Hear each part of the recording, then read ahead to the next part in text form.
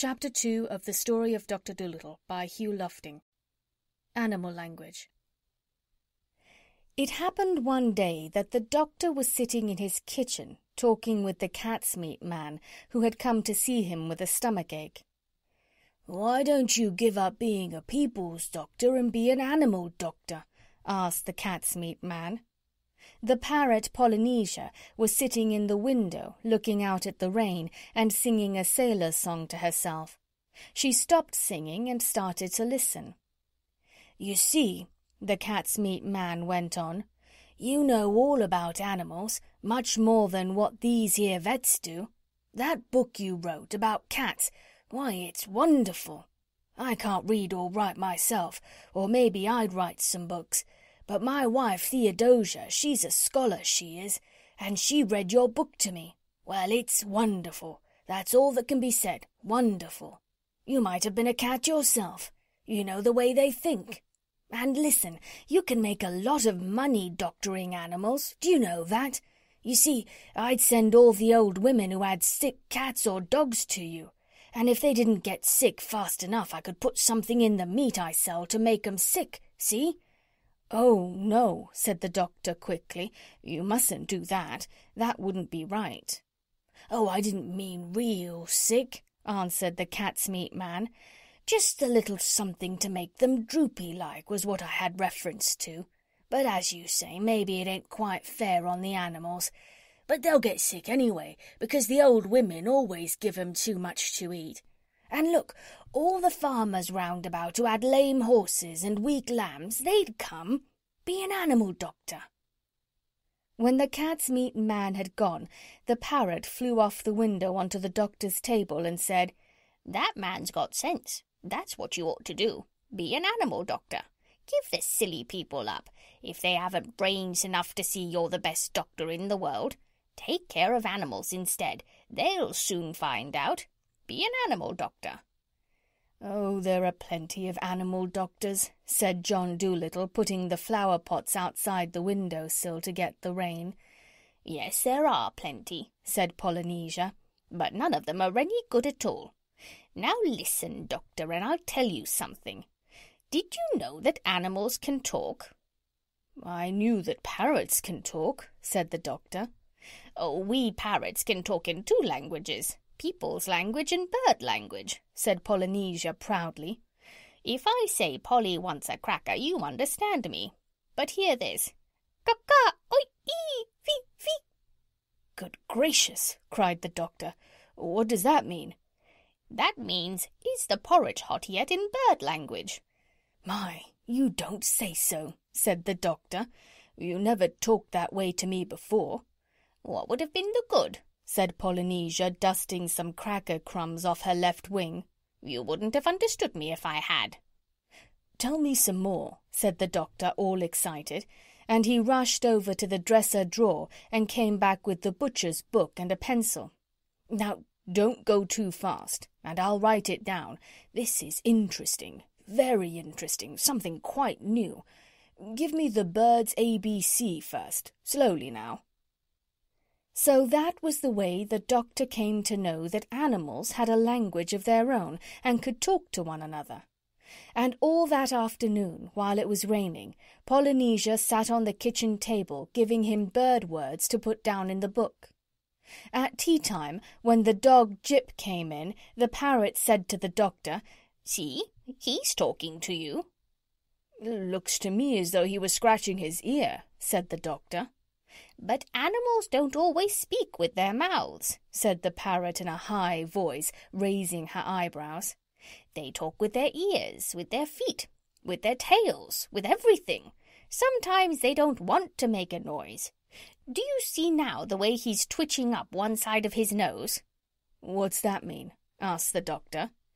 That means, can't you see that it has stopped raining? Polynesia answered. He's asking you a question.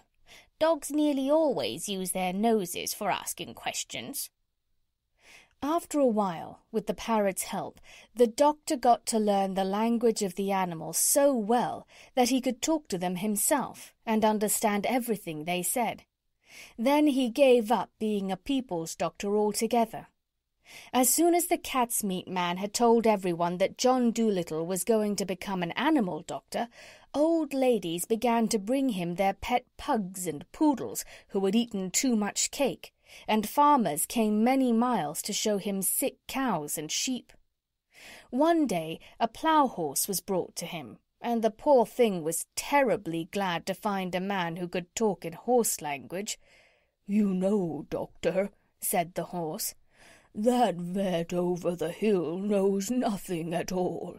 He has been treating me six weeks now for spavins. What I need is spectacles. I am going blind in one eye. There's no reason why horses shouldn't wear glasses, the same as people.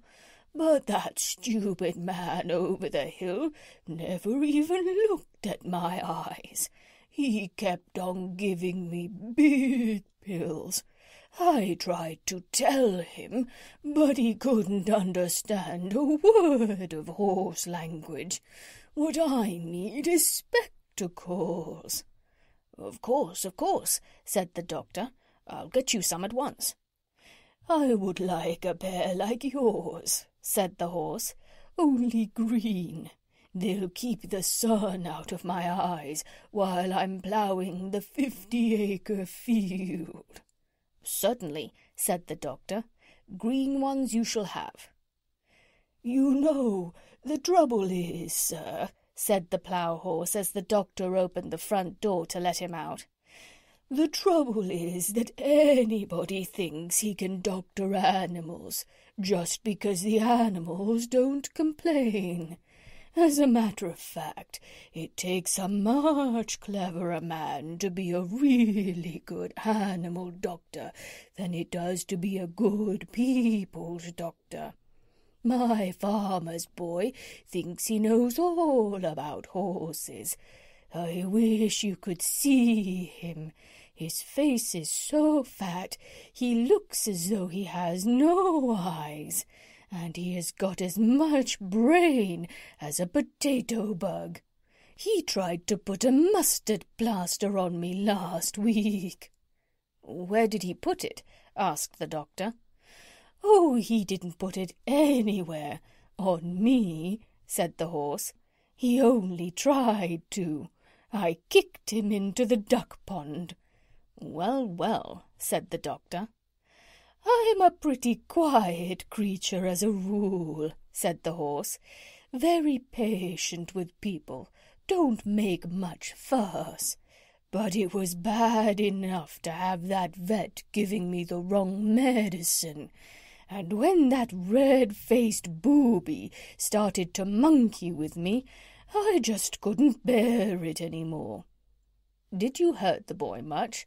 asked the doctor. Oh, no, said the horse.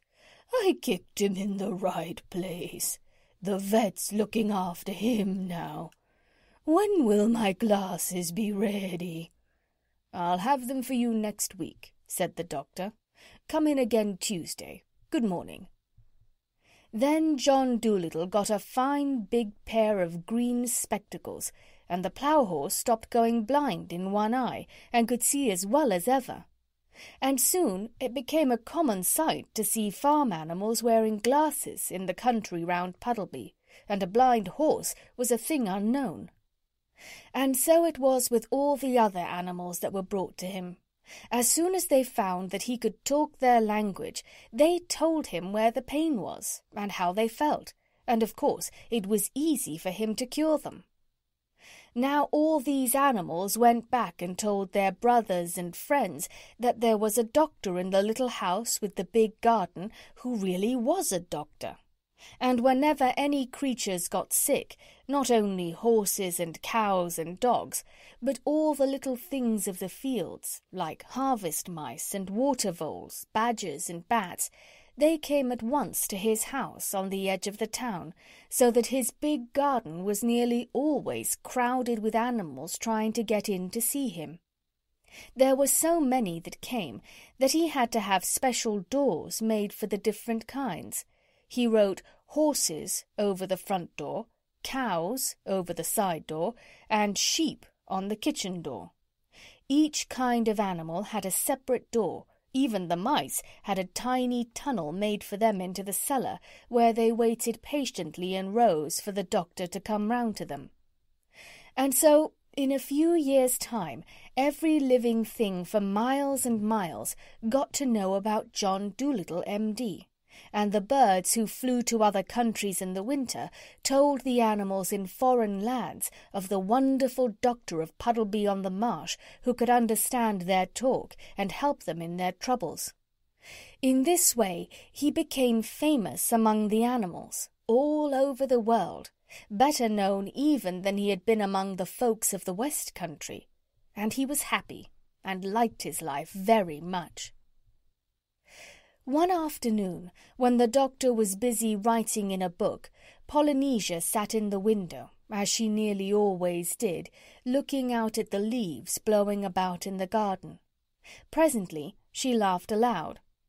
"What is it, Polynesia?" asked the doctor, looking up from his book. "I was just thinking," said the parrot, and she went on looking at the leaves. "What were you thinking?" "I was thinking about people said Polynesia. People make me sick. They think they're so wonderful. The world has been going on now for thousands of years, hasn't it?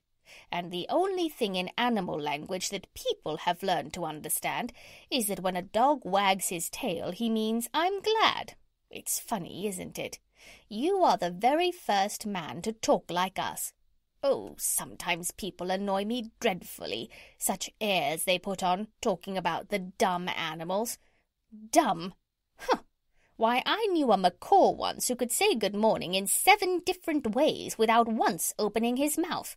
He could talk every language, and Greek. An old professor with a grey beard bought him, but he didn't stay. He said the old man didn't talk Greek right, and he couldn't stand listening to him teach the language wrong. I often wonder what's become of him. That bird knew more about geography than people will ever know. People! Golly! I suppose if people ever learn to fly, like any common hedge sparrow, we shall never hear the end of it. You're a wise old bird, said the doctor. How old are you really?